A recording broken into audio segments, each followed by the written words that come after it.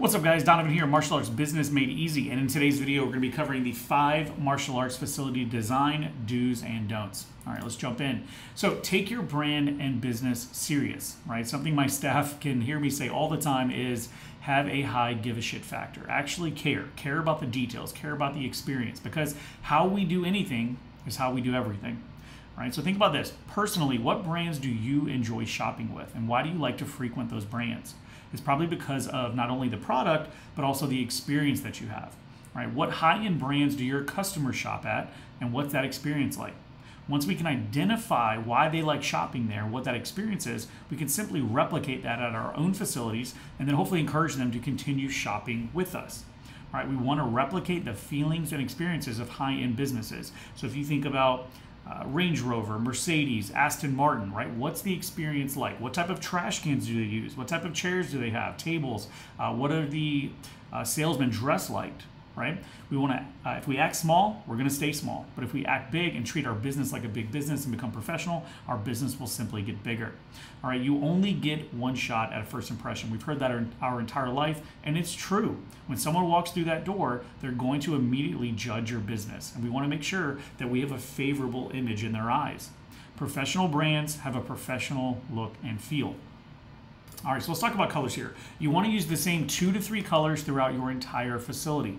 All right, so your walls, flyers, etc. Everything should have the same color code and fonts. So if you look at our facility here, this is one of our locations. Uh, our base colors are red, white, and black. All right, so again, you want to have typically one bright accent color that stands out for us, that's red, and then the other colors are going to be neutral, so whites, blacks, grays, things like that. Um, but going one step further, don't just think that, hey, my color is red, because there's different shades of red right? We want to try to, when we can, we want to try to keep it the same color code all the time. And then same thing with your fonts. So if you have stickers on the wall, if you have flyers that you're doing, social media posts, try to keep everything in the same font. We want everything to be congruent at all times. All right, seating. So avoid using folding chairs to make your business look more professional, right? We don't want to have things that look temporary like folding chairs. I don't know any expensive brand that you've ever been to. I've personally never been to one that had folding chairs right?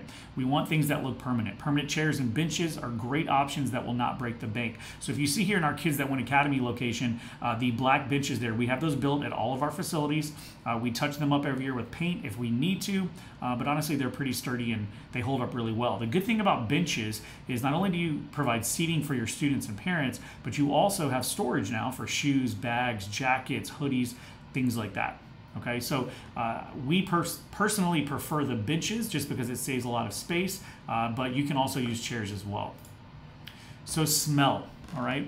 The days of having martial arts schools uh, that smell like a foot are beyond us, hopefully, right? Hopefully your school does not smell like a foot. You want to install wall-mounted scent diffusers throughout your entire facility. So they have the ones that plug into the wall. The challenge with those is if someone bumps into it, they could spill the oil and it gets all over the place and you got to clean it. Or if you don't replace those on a regular basis, they can actually burn out and have been known to cause fires. So what we do is get the wall mounted ones that are up in the uh, that, that we mount up close to the ceiling so no one's really touching them. And then we just simply replace the batteries or the scents as needed. You can get these at Walmart, Target, or Amazon. Um, another, going one step further, you can install a professional essential oil diffuser in your facility to replicate that big box gym atmosphere. So if you think about if you've ever been to a Marriott, for example, all Marriotts smell the same. You go to Target, they all smell the same. You go to Walmart, it all smells the same, right? That's not uh, by accident, that's actually by design. They have professional diffusers uh, in their facilities that make them smell that way. Okay, so again, we want to replicate the smell. If you have multiple locations, something definitely look into. But even if you have one location, we want to make sure that it's a pleasant smell when the consumer walks in. All right, so music here. Have a Bluetooth music system that plays music from the time you open until the time you close. I know there's a lot of people in our industry that are not fans of having music during classes. All right, we're not here to make that argument. Uh, but what we look at again is going back to where our consumers shop. Where do our customers and students shop at? For us, a lot of them shop at Target right? And if you go to Target, there's always music playing. So in our facilities, from the time we open to the time we close, it's part of the opening checklist and the closing checklist. We will have music playing throughout the entire time. And then during classes, obviously the, the tone of the music is going to be much higher. We use an Apple Watch to control the music settings during class. So originally when we did this, we would just use our phones to control the music. But again, optically, from a parent sitting down on those benches looking at class, even though the instructor is changing the music, the parent might think this person's on their phone, right? Checking Facebook or Instagram, and we just don't want that optically. So we have all head instructors use an Apple Watch to control music settings during class times. We used to use uh, professional like Sonos systems.